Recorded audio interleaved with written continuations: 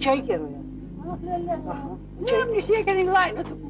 И тебе го динјат. Се да фат, ali nije to, ni to. А јас не пуля и очајкеро ја. Овие не пуля. Вчора сам не пуля. Од тај сирка. Ој си, ој си, дома да не паниш некаде да сопетиш. Ој си, Сама сум се. ој си, ој си. Да не паниш да се скршиш некаде. Ој си. А?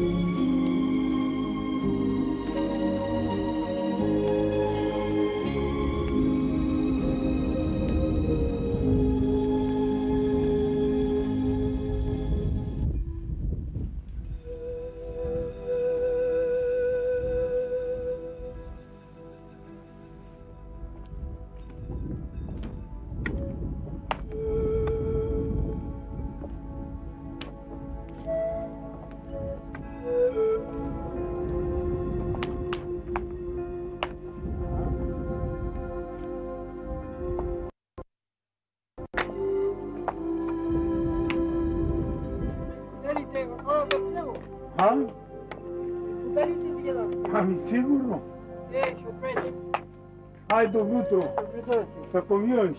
Аре, Како е со староста? Се крепиш? се крепа. Е, Така треба да зборови. е, така да Би ќе се крепи бе сакаме еки бе. Така дома, дома нема ни поред ни помош. Нема. Ни ме кара некој, ни ме бара. Ма... Е, како си видиш? Сега да ме господо кај стрека... Е, сега кој среќа късмет. Ама бе жена, ми вели, абе, туа не прича си. Па ти не ме пасвај кај што не прича, па ти ми на стара кај што прича, бе. Ма... Ай, шка да рече, а? Еби си, едни па ме рек, мустеки Да, да бра- баце. така Е, сега јас кажи, че не знам каква ќе начека. Така. Ако најда да сака брада, ете брада. Така, Сакаш бришено, ба, на. Не, не, нова стара су прича, нова не прича. Кај ти оди за бе. така е. Како да рече? Еми тоа е кај прожита. Ништо, на најда му даваме Знам. 40 дена, па тамо бев и се се вратив. И тоа е. А, Ајде е, со здрави. Чини му поздрав многу. Ќе му кажа. Е, Ама ти поздрави ја да стана пара ка со полине кош ме биде. мај, Ем како зашто? Како велиш ти да Море, бе? ти Само ти за чужите, а? зато Кули за домашната? онегаш Е, вртиш по тета цвета. е, зашто? А, Ќе да и лошо? е лошо, како лошо. ќе да и? Ти ќе да и лошо, да?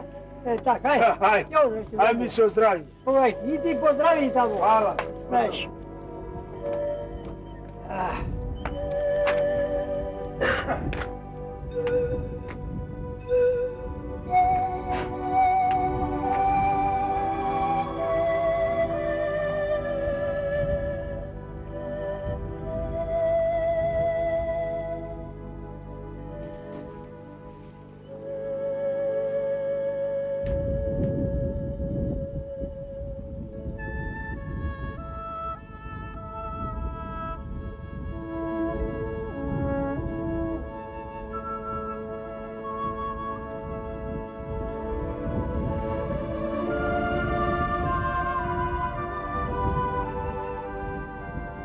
Оваа се вика Илиовска мала. За свое време таа броеше преку 150 души. Преку 150 души жит, жители имаше во фамилиите. Секоја фамилија беше по 10, по 12 луѓе. Денеска нема само 8 души остана во оваа мала. Си селија. Кој Америка, кој Канада, кој Австралија, некој тука во провинцијата, да во внатрешноста на Македонија, Скопје, Битола по служби и денес има најмладиот човек во оваа мала сум јаска. А сум на 76 години. А уште други 4-5 души се по 80-85 години. Е, тие се. А овдека живеа толку души на оваа почва. Ме мачи, зошто се испусти? Значи, Останаа празни куќи, еве овие што гледате, све празни се, без фамилии. Убави куќи градени со, со труд, со пари од Америка, со Наполени, за тоа време, кога се правеа овие куќи, по 500, по 1000 Наполени злато е на куќа градеа. И сега пропаднува е така. Времето си го сторе своето. Немаме ни свадби, немаме ни крштевки, немаме ни слави, како што беа едно време. Е, кој ќе почне по славите, по свадбите, имаше народ. Сега нема.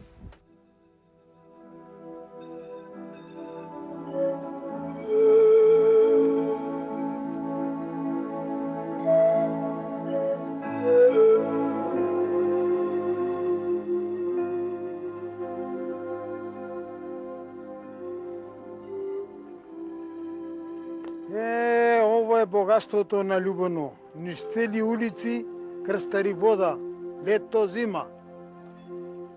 Овде, на овие места, тука имаше само овде две воденици.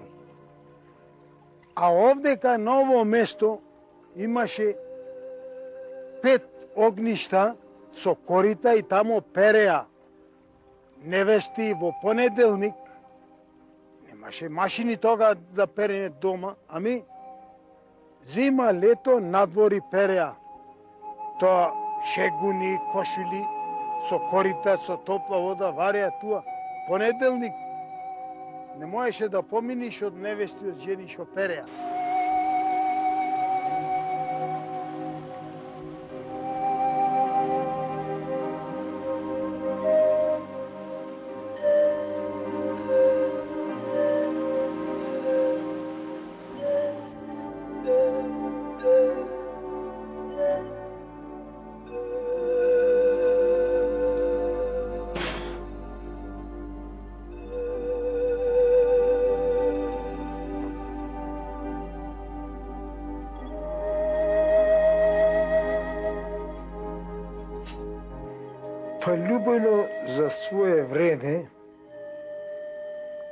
Тогаш беше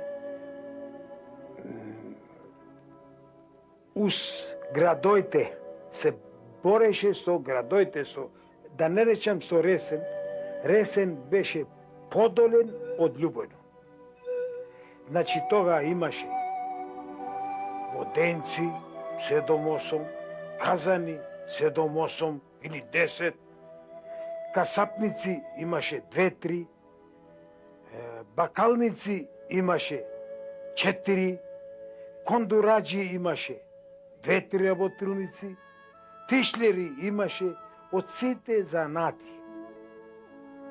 Имаше љубено. Додека во другите села, дали има по една или две воденци, занатни немаше. Продавници една, и то бедна, А иначе тука имаме добри продавници, добри касапници, добро све.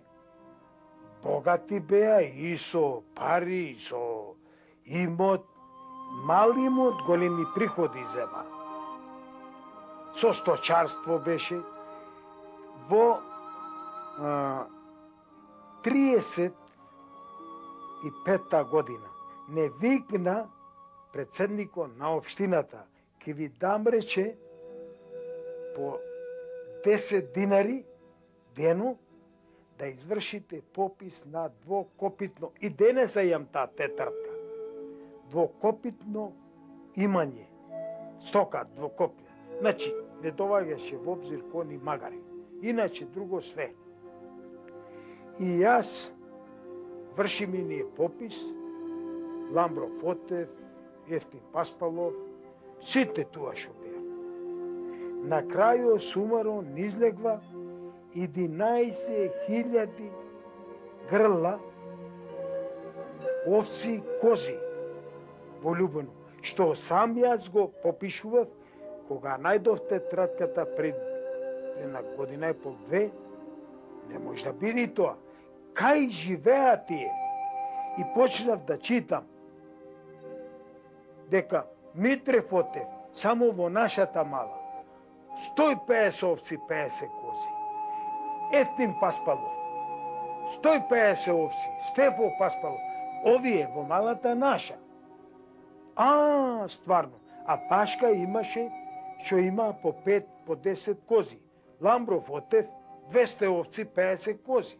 И на крају излегва е вистина, а денес немаме ништо. Любојно за свое време се рачунаше како лозарски крај, по 50 вагони грозје годишно од Љубоно излегва. Вино, за дома, јас се секјавам, татко ми, ставаше дома, тураше грозје. 10 тона во вино, во ракија, за продажба, за пиене, за јадење, за свадби.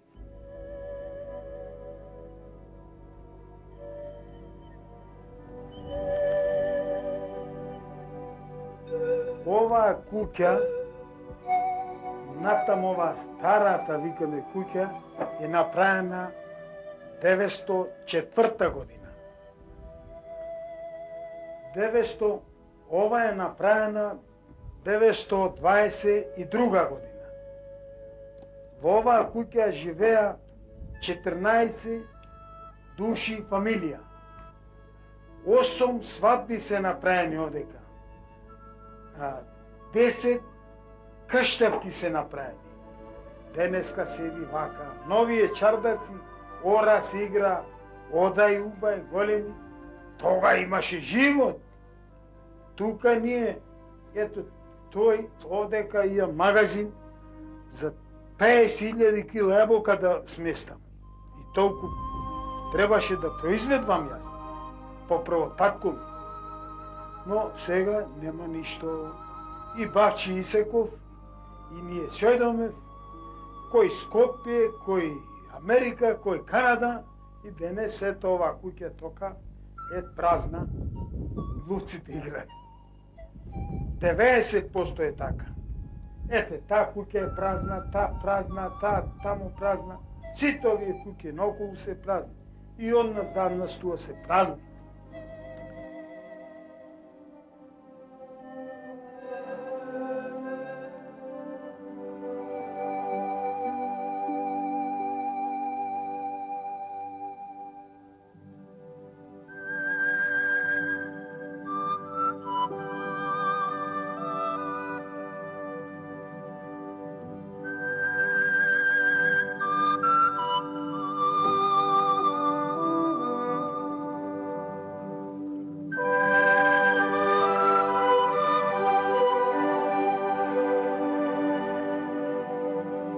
Печалбарството кај нас одели надвор во источна Европа, во Руманија во Рус, во Русија не одеа, ама одеа во Турција, го знам, го кажува старите, јас бе во Анадол. Ами то може да почне, не знам, рано многу.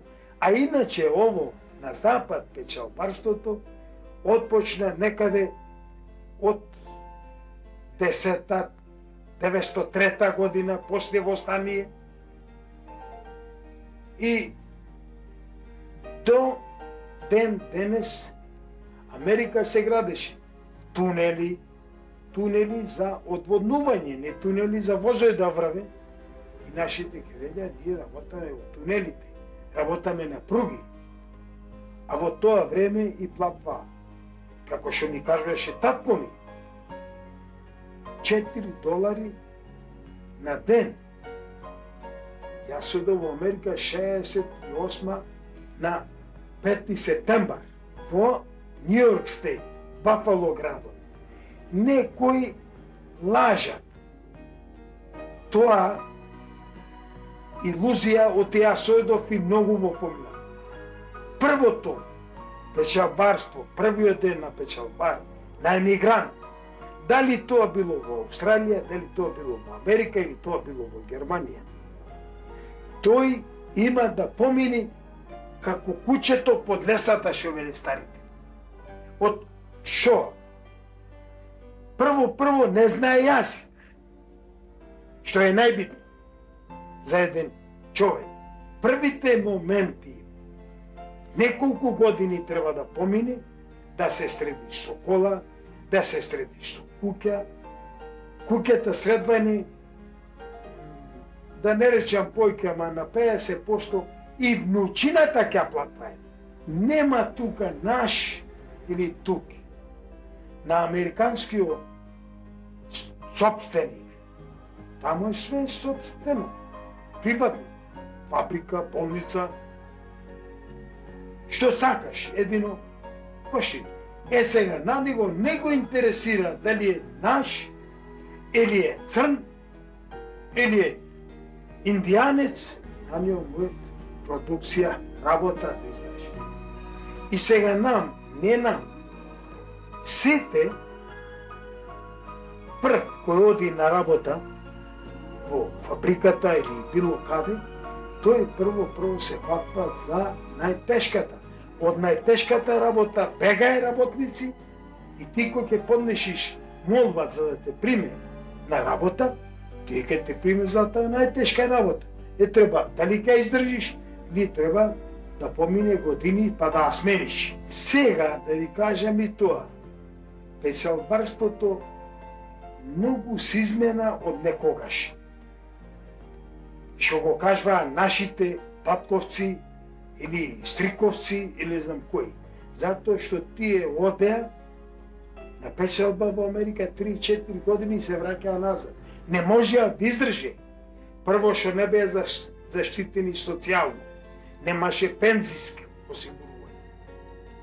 Сетне одеа во бараки, во групи, еден стани од креветот, други лигни.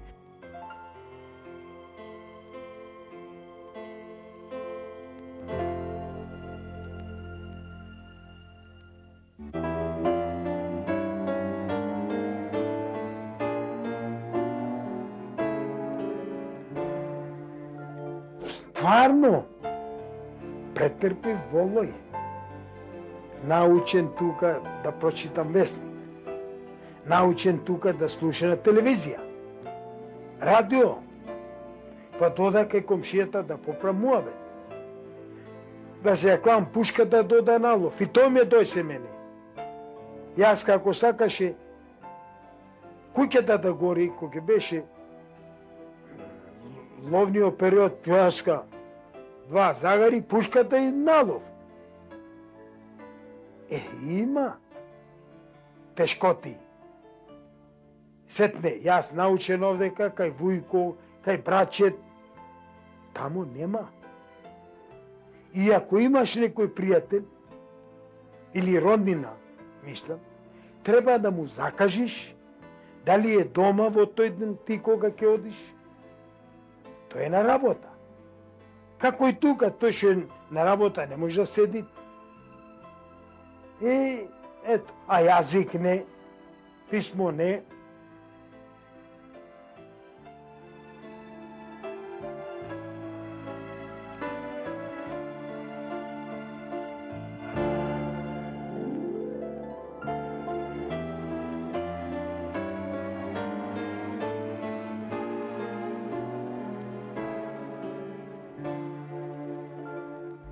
И во Америка има гледам на телевизија, дури некој умира и вика пари, пари. На вистина, богатството си е едно, али некој и да нема богатство, живото си го прави поарен. А некој со многу богатства, живото не го прави. Ето така е. А оти, да ти речам оти, или ти да ми кажеш оти, Не е сета стрека во богатство, да. И тоа се сложувам. Стрека е да ти е фамилијата во куп, да ти е жива, здрава, умна. Тоа е богатството. Јас сега имам пари. Јас сум посиромав многу. Затоа што разделбата со мојата фамилија со внучина, со снај, со синој, мене да не претерам повеќе 10 години ми оскоси живот. Тие плачи, јас плачи. Значи, што ако имам пари и сега, имам пензија америчка, и ја од тука, ама не, немам оно што ми е најпожелно, што ми гори срцето. Ето тоа.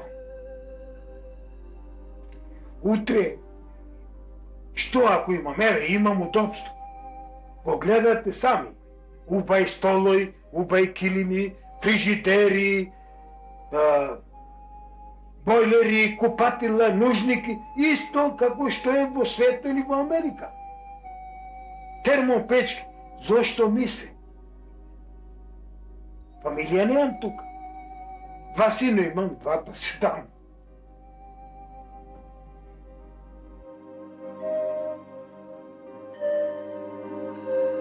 А сега, како ќе правам јас ова куќа, кога немам луѓе? Ако имам луѓе, ќе реновирам, ќе офарбам, ќе одржувам. Ама сега, за кого?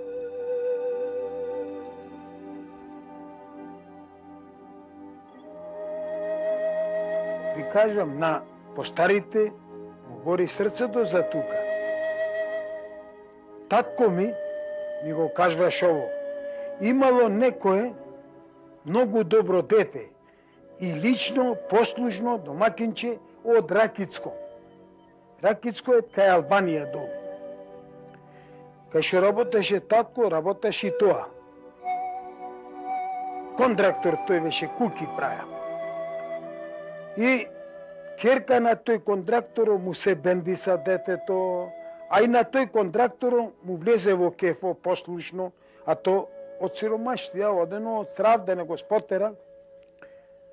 Седи, седи работе, а, ки темен ракицко, ракицко. Мајката. Ко зеде тој контрактором, а зеде керка му го напрезет. Јара кицко јашаре. И тој може да му вика на жената му. Жено, ајде да му удоволиме желбата до зајси меракицко. Со пајтони со коли дошле до Корча. Од Корча за Ракицко сега по Магарски пат.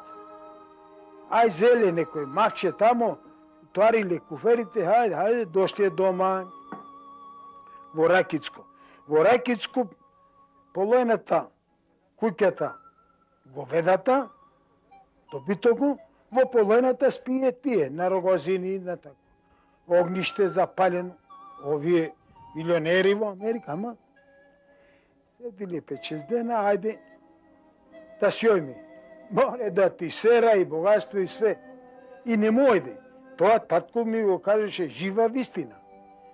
Да трча, му кажувал тој контрактор, да трча да го граби магарето да го бацва. Дете како што го пасел. По плечината кај што имал градено ливачина. Ете, ми е зборо што значи тоа тој ронно место. Е тоа улиено моја во душата, во крвта. Тој не може нео да го искорени. Ето таков е животот.